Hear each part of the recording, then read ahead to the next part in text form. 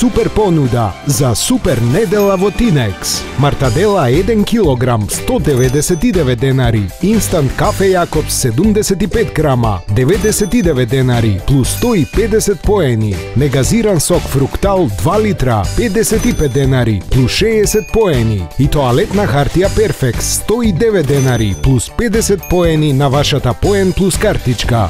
25 години инспирирани од вас. Тинекс